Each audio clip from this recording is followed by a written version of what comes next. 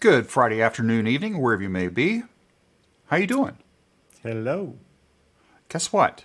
This is going to be a short one today because I have a meeting I have to go to. And so does Viktor. So we're going to shoot for about 40 minutes. So we're going to get into it. Uh, yes, you are the first. Help me, Viktor. What's his first name? Uh, Engin. Ingen. Okay. I was wondering I'm if the G was a hard.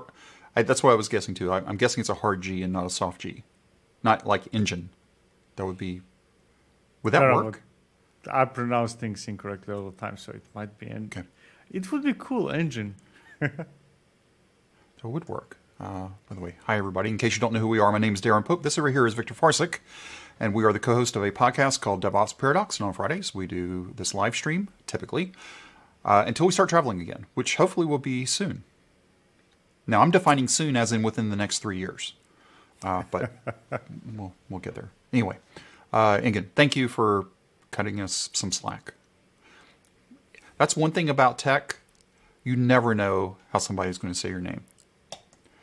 The name, it's it, it just now. Another thing you may be noticing this week is look at how Viktor is looking.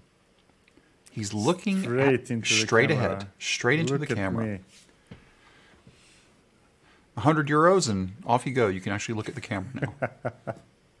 was that about what it was? 100, Yeah, something like that, yes. Okay. It wasn't much. I mean, it's a lot, but it's not. Not like some of the other things we were looking at. Okay, anyway, let's let's go ahead and get into it. Um, by the way, do you have your drink? You should always have your drink. Do you have your drink? No, You're still on Coke? still on Coke. Okay. I'll open beer later. I think after what your next one is, you probably want to have a more adult beverage. All right, let's go ahead and get this shared. There we go. Okay, so this week's episode was about how to get started with CI/CD, and we went through all of the normal storylines of, okay, it's not a pipeline. Break out your tasks. Know how to do your task. Once you can do that, then really CI/CD is just automation of those tasks. Right? Plain and simple. Exactly. But then we got into being two old people and talking about getting hotels over weekend releases and trying to get food and no AC in the Oh yeah, yeah. those, those are the things that cannot come back. Those were if they not do, I will retire early. th- yeah, those were not the good old days. Those were just the weekend days that you wish would finish quickly. But so anyway, if you haven't listened to that yet, podcast comes on on Wednesday, 6 a.m. Eastern, noon CET. So check that out for the next uh, next week. I don't even remember what it is. It's already done, and I don't know. Now, if you do have some spare time this weekend, after you listen to the podcast, first listen to the podcast. Honeypot has put out a documentary on Kubernetes. It's actually in two parts. The first part came out earlier this week. The second part just released about an hour ago at the time that we're doing this stream. So it's a two parter around Kubernetes, the documentary. And you see all of the typical names that you have seen over time the Kelsey Hightowers, the Joe Bedas. Joe, forgive me if I'm saying your last name incorrectly. You see talk about Docker and how it all came to be. That was the first part, which was about 25 minutes. The second part, which again just came out a little while ago, is about 30 minutes. So you can watch an hour on the history of Kubernetes.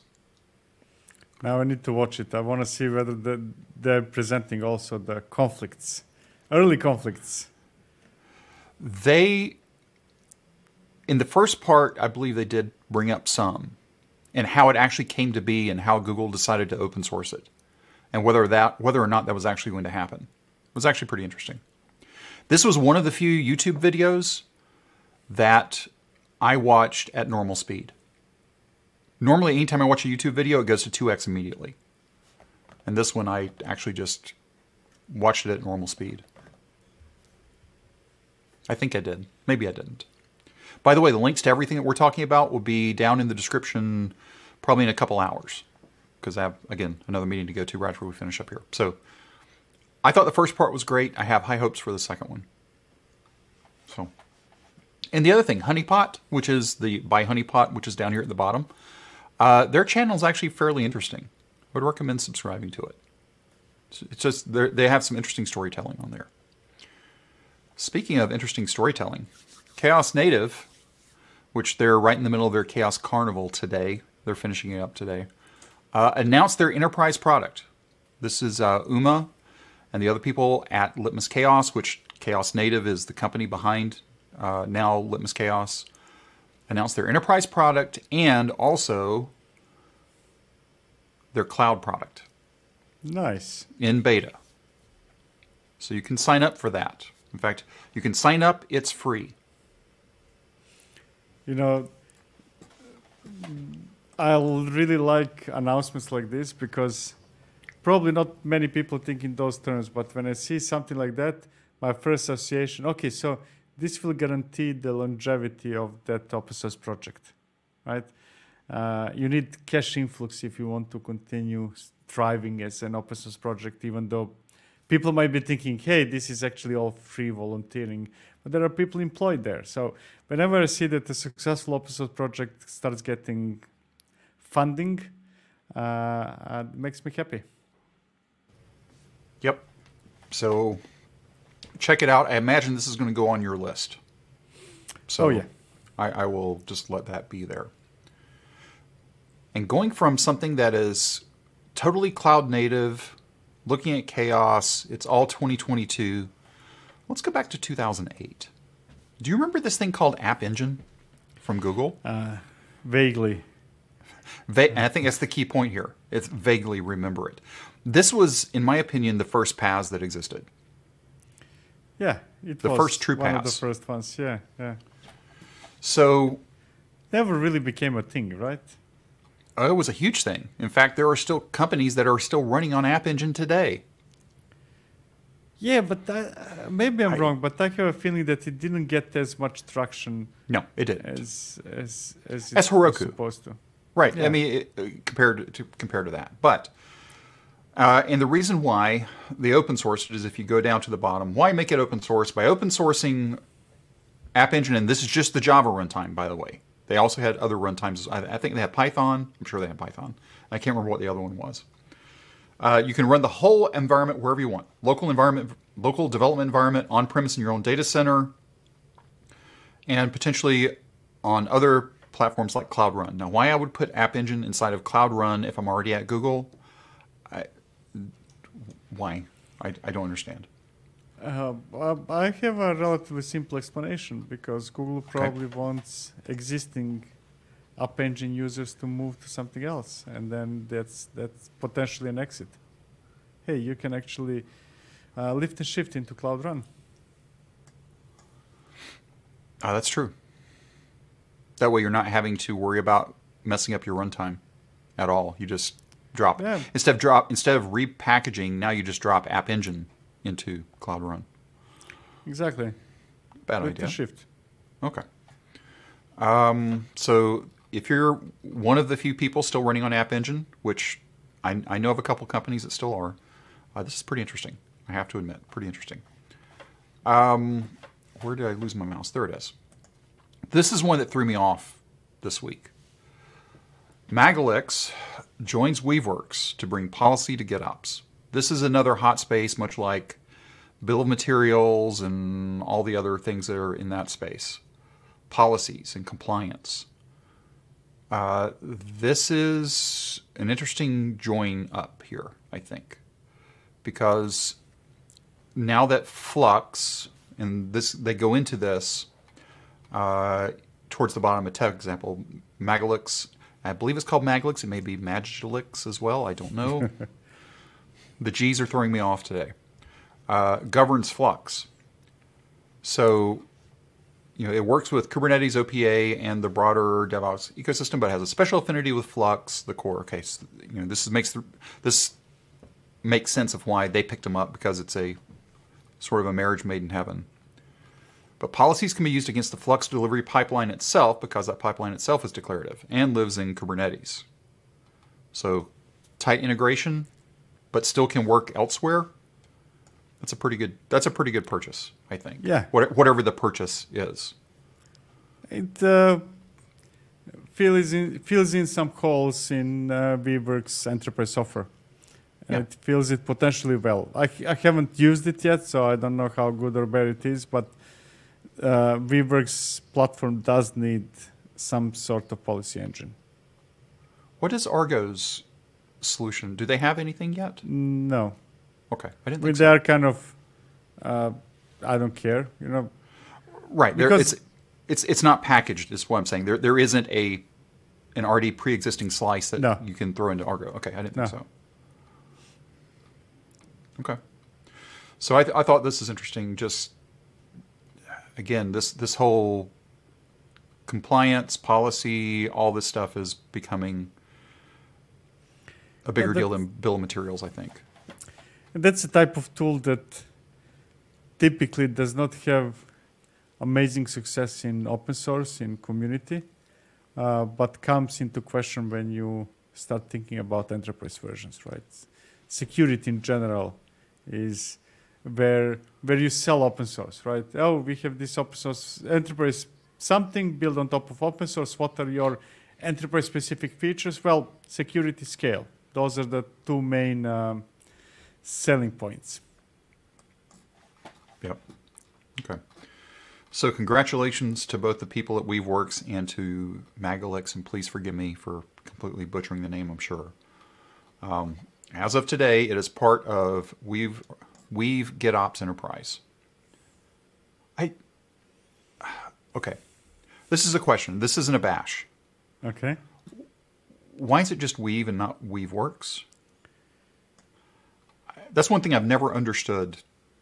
Why they Yeah. named it that way? I I, I get because I, want to say weave works because it's ju- it it's what I always say. But Yeah. I don't know. Maybe it's catchier. Maybe marketing people thought that it sounds better. Weave. People Maybe. were- yeah, I mean, I, like I said, not positive or negative on it. It's just like I ju- I'm just curious. What what was the reasoning behind that? Not a big deal. Okay, um, this one is a big deal. Big long phrasing that basically means one thing: the AWS Cloud Map MCS controller for Kubernetes. Say that more than once fast. It's, distribu- Uh. it's, it's distributed under Apache, so we're good there, right? So we're at Apache. It allows for multi cluster service discovery. Multi cluster, not just cluster wide discovery, but multi cluster discovery. What do you think? Basically, it's, a, it's, it's based around this cap right here. Yeah. I mean, you know, I I applaud uh, AWS on open sourcing more and more things, but doesn't have a good record in terms that even when AWS open source some potentially really great solutions like Karpenter, right, which we talked about and I really like, um, it doesn't get picked up. So they very often stay being open source AWS only something or mostly AWS something, right? So I, I would really like to see AWS open source projects getting adoption outside of open of AWS. Otherwise, it's almost like, hey, why would it be open source in the first place?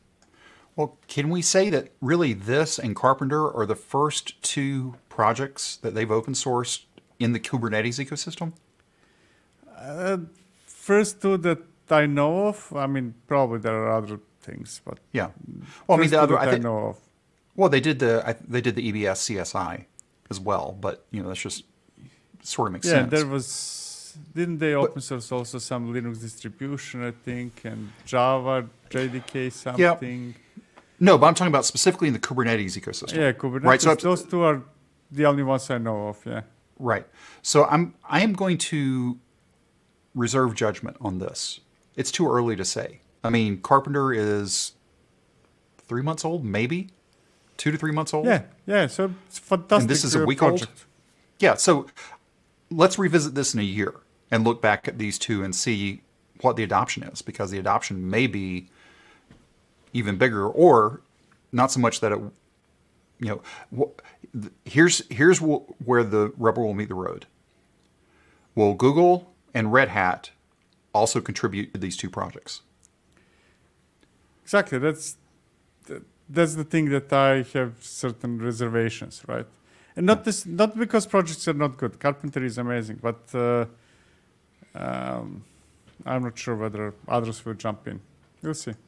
Yeah. If they do jump in, then that's going to because that's what made Kubernetes work, right? That's Yeah. That's the reason why we're why Kubernetes was able to scale to where it is today.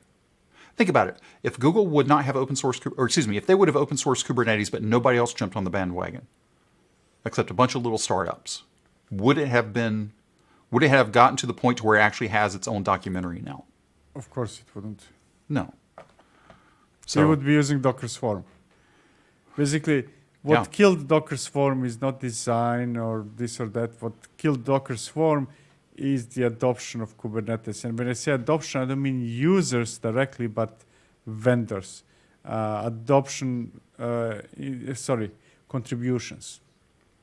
Right? Simply, uh, Docker could not compete with the pace of contributions to Docker, which at that time already had a lot of people contributing from Azure, from Google itself, from Red Hat, and so on and so forth. Yeah. So, uh, Karan, hello. How are you doing today? Um, another big announcement this week was Rancher Desktop 1.0. Yeah. Have you Big tried yeah. it yet? Have you tried No, it yet? not yet. I have it for this weekend, uh, hopefully. Try it out. I, I don't think that there is a huge kind of change. It's uh, simply, hey, now it's time to Make it uh, promote, make it 1.0. Yeah. Um, at least I don't think that there are major changes. It's simply, it's mature. I mean, mature is a Yeah. tough word actually because it doesn't exist sufficiently long enough to be mature, but it's Yeah. uh, one of my favorite tools. Yeah, I was getting ready to install it, and then I remembered it requires Catalina, and I'm Oh, still on, man. and I'm still on Mojave. So Okay, go to the next one before I start uh, trashing you again. I saw this on Twitter today. I don't remember who who I saw it from. Have you seen this? Yes, I've seen it. Yes, yes. It looks good, but I don't want to use browser for that. That's my problem. No, it's fine. You don't have to use it. But for somebody that's just trying to figure out, okay, where do I even start? What do I want to do? A deployment? Yeah. Demons, right? It's like, okay, I want to do a stateful set. Okay, great. And now that tells me the other things I need to do. It's, I thought it's It's cool. a very good learning. Um, It's a learning tool. Yeah. Because once you've used it probably two, three times, you're probably not creating very different type of applications over time. You know, you're copying and pasting most of the time. You Exactly. need those initial f- uh, number of manifests, and from there on, it's copy and paste, baby. Yep. And you can even edit straight in YAML here too. So I, th- I thought it was pretty cool. I Oh yeah. never saw it before. But anyway. Um, KubeOrbit. Now this is, okay, I'm going to go back here for a second. Dark theme. I love it, right? I can Which light one is up. default? Um, my browser is set up as a dark theme, so their site was able to pick up that it, I wanted dark, Nice. uh, which in my other browser is light theme. I don't run everything dark. So when I landed on this, once I loaded up for the show, it was like, oh, it's dark. Oh, right, because I run this browser dark. Um, unlike this one, which is light all the time. I, I am considering doing a, a light theme, dark theme for the website in all my spare time. Uh, not anytime soon, but that will probably happen at some point. Anyway, I saw this. I saw this tool today, KubeOrbit. It's an integration testing tool for cloud native applications, and I thought it was interesting in the fact, and it's it's a project that's been out for about a week based on the commit. You create a channel. Cha- they're using the word channel, so if you're a good developer, don't get confused. But creating a channel for your microservices in the test environment, then that gives a stable environment that belongs to you. And the picture that they have here, which I think is pretty interesting, is okay, you hit the gateway, you also give it a version 2, and it's going to route through whatever version 2 is. And if you were to take a look at the, and then it, it's got some dependencies on, you know, Cilium, Istio, Linkerd, so all these things are tied together. Um, I thought it's pretty cool how how it's how it works. But I was trying to find where. Okay, get the quick start. Yeah. This is what I wanted to show. Come on. So basically, you define uh, CRD to get it in, and then you define the versions. And then when you're ready to start integration testing, you add a microservice, you add it to a channel, which this is too large, but you have a base and then a version one. Hmm. And then you set up your routes. V1 goes to V1, otherwise it goes to base. This was an Istio Hmm. example. Yeah, it's a it's a nice wrapper around. Simplifies Istio configuration, right?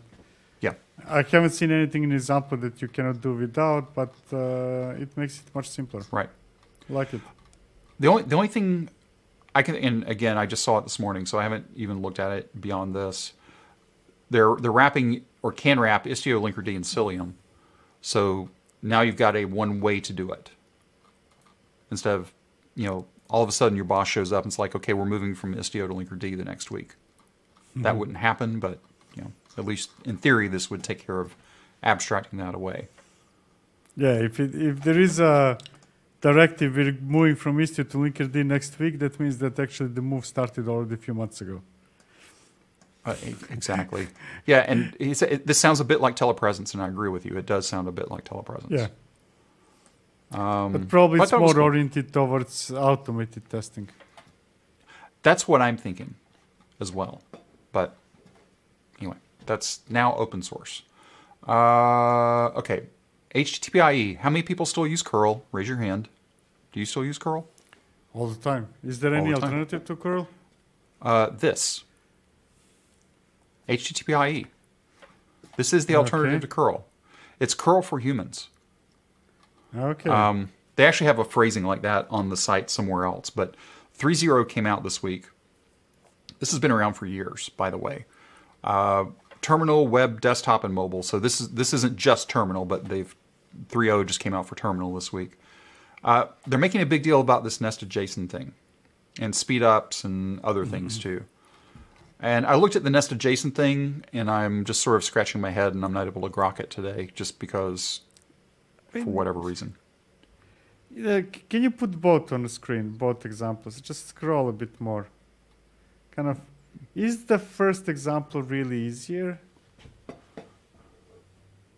Well, that's so we designed it to high the, the we designed it to offer the highest functionality with the best user experience. For that, we took an existing format, namely HTML JSON form, which I guess is this, and built the spec on top of it.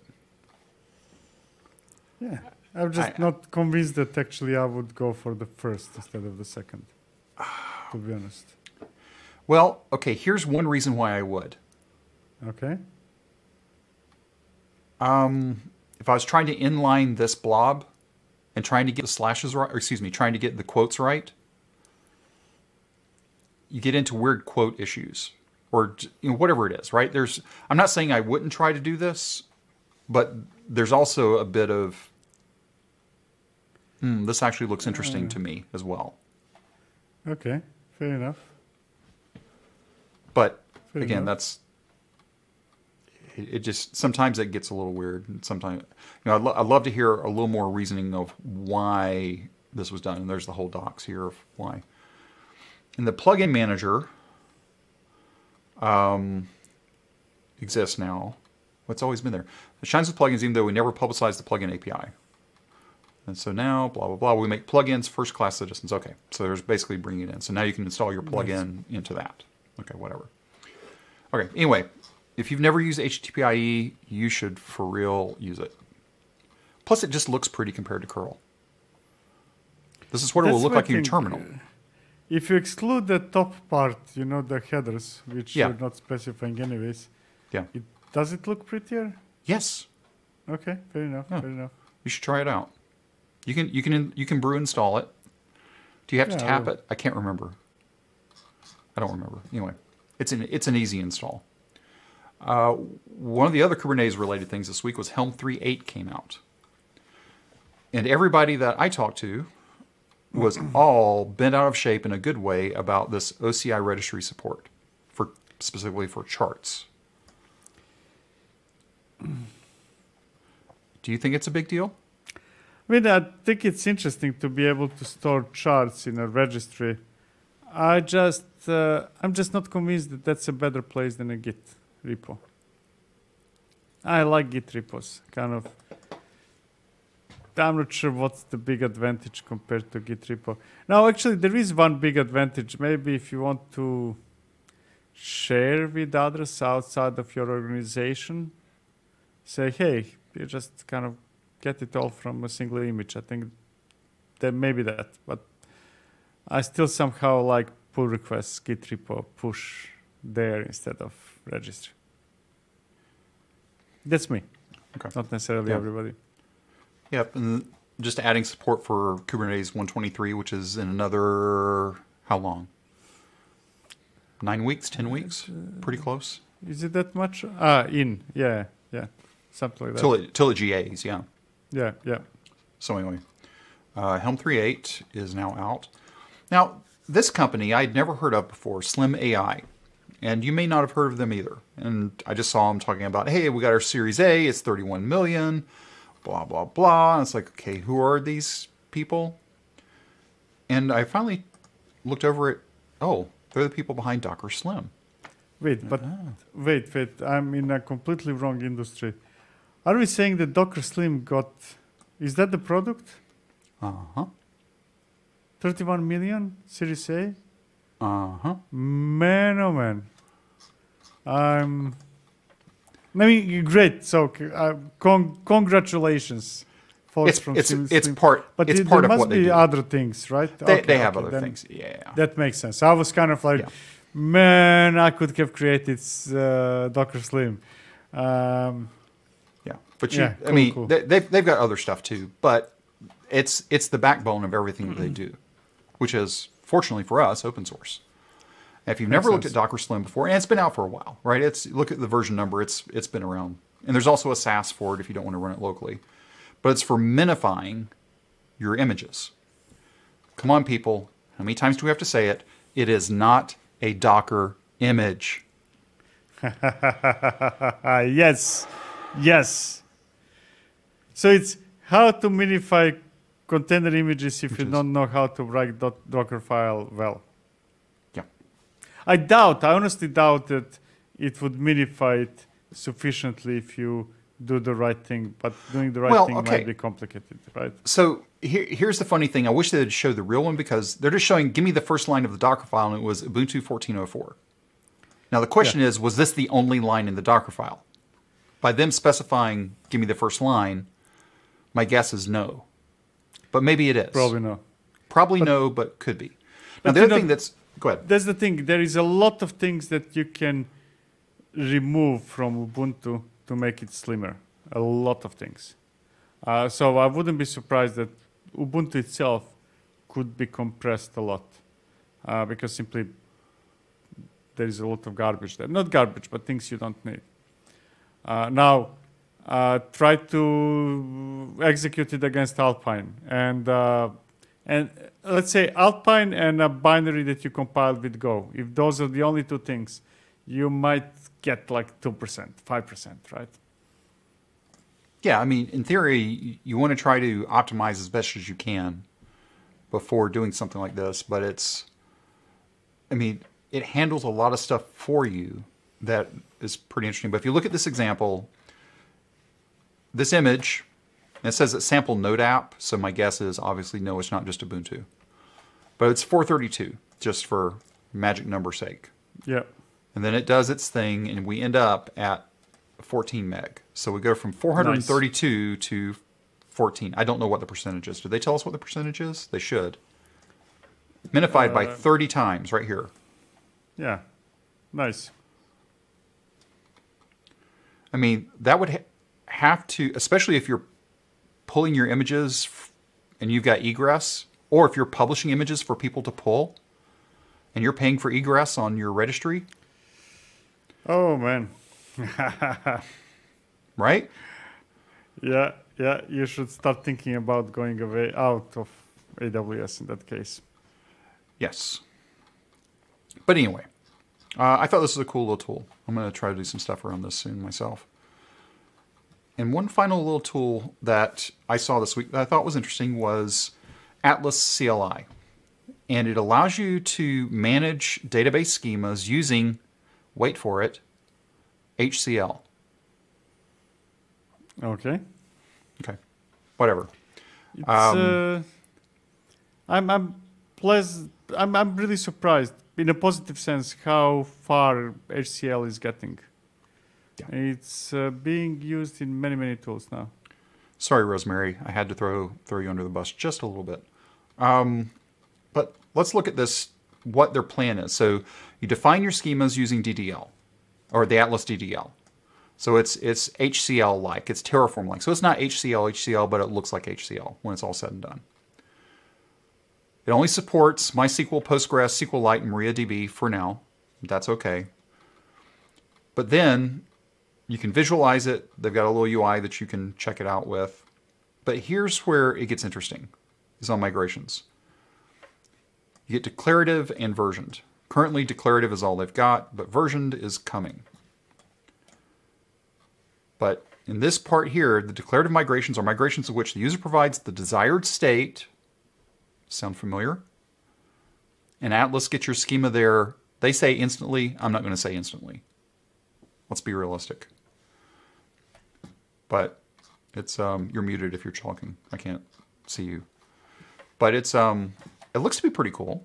It's a it's a simple little app, and let's see, you, you can start up a little database, or you can do a little database container here. They walk you through inspecting and applying schemas, do all the things. So it's like um, I, I, it's cool. Yeah, and uh, I'm not sorry to be honest uh, that they did not implement version yet. Declarative is really. I want tools to do the work, so I don't Yeah. want to specify my schema. Hey, now you need to do this because the that current schema is that. No, it's it, Yeah. that should be the job of a tool to figure out what Yep. needs to be done. Yeah, I mean, you can look at this example here for this table definition, and we were joking earlier about migrating from Istio to Linkerd. Something more realistic is okay, we're going to move from Maria or MySQL to Postgres. That could happen.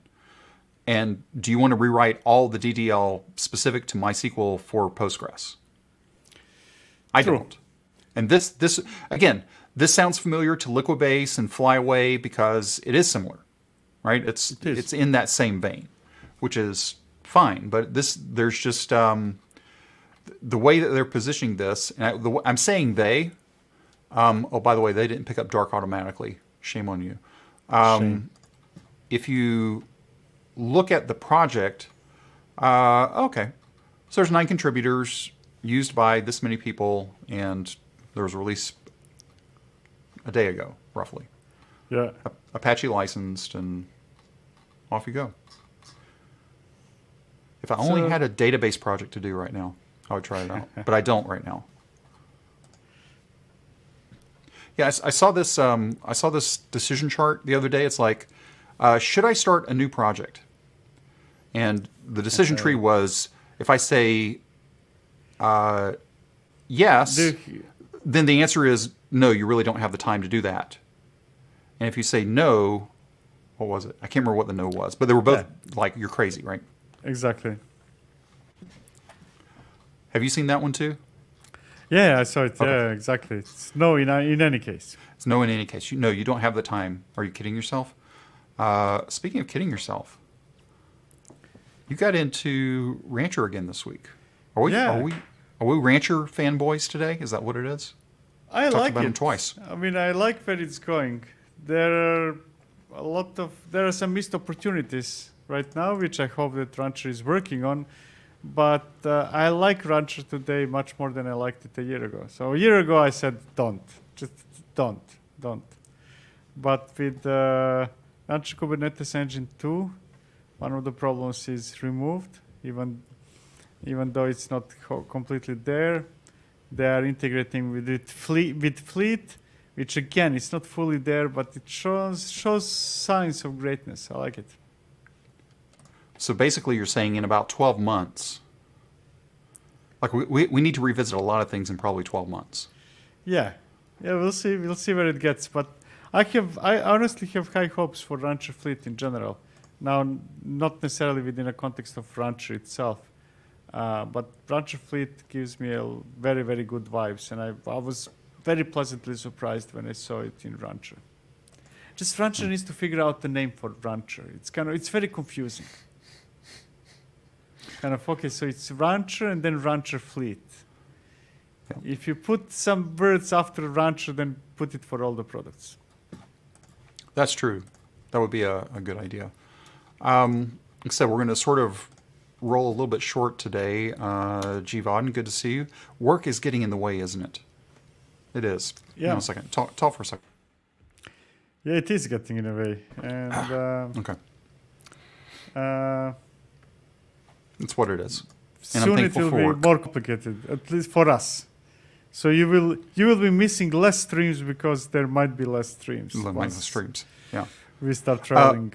By the way, we didn't say it. Uh, you had a couple of streams this week or videos around a new project that your company open sourced.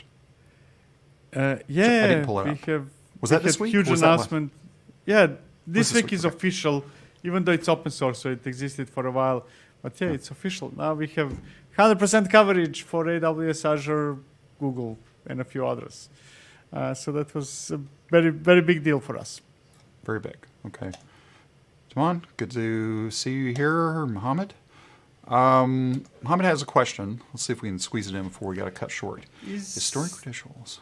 secrets or environment uh, variables in Kubernetes? Secrets are not accessible by anyone. Is wrong from security perspective. So, uh, secrets in Kubernetes are not secre- secretive. To clarify, they are very easy to access. Uh, and now, how easy it is or not to access is depends really of how you set permissions, which processes and which people or persons can access what in Kubernetes.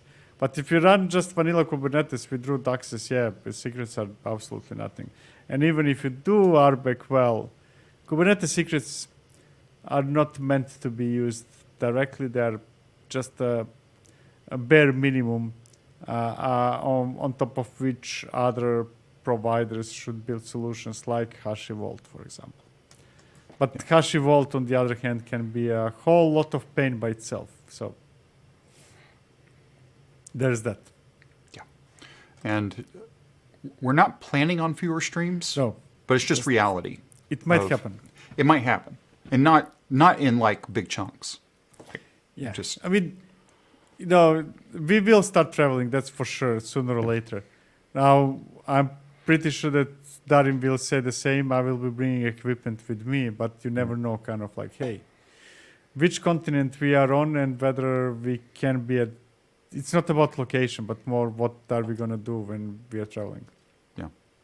So that's it. But I'm not planning on traveling for a while still. I'll go kicking and screaming into that airplane fuselage. um, okay. Uh, we hit everything, and I do need to run to this other meeting, so let's wrap it up quick. We should be here next week. I don't see a reason why we wouldn't be. Um, yeah, this is pretty funny. Digital DevOps Nomads. That would be nice if we could do that. Hey, my my big plan is to move for a couple of months to Australia. That's my big plan, which has been postponed already for a couple of years because of COVID. You never told me that before. You're just now breaking this to me? I thought I did. Yeah, Hmm. so th- that's that's the idea. Kind of do some, you know, those uh, swapping apartments.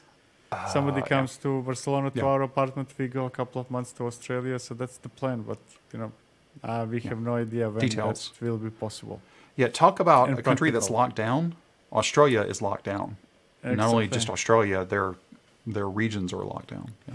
Yeah, yeah. So it's not That would make the stream miserable.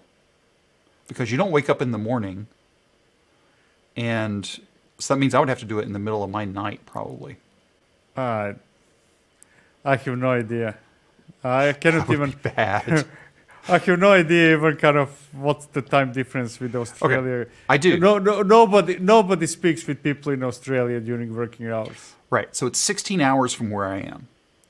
Okay? So it's so like when I talk to some of the guys from Australia that I work with, they're as my day like at- at 6 p.m. my time, it's 10 a.m. their time. So I I guess we could do it. You know, at noon your noon Australia time would be, only be 8 p.m. my time. That's not too bad. That's an hour before I go to bed, so that would work. Figure it out. The, Details. the least problem, that's the least of the problems with my plan about, uh, to go to Australia. Yeah, just think, what's it going to be like to really travel like that again? I don't know. Yeah. I'm, I'm I've lost my. I don't know where. Okay, this is really silly. There it is. I need to clean up the the back end of this. Okay. Anyway, thanks for joining us live here today. Uh, we will be back next Friday. No reason why, why we shouldn't be at this point. So, uh, thanks for hanging out with us live today. If you're watching the replay, thanks for hanging out till the end. By the way, if you're still here, uh, go ahead and check the thumbs up before you leave. And if you haven't subscribed, go ahead and subscribe. And uh, we will talk to you again next week. Cheers.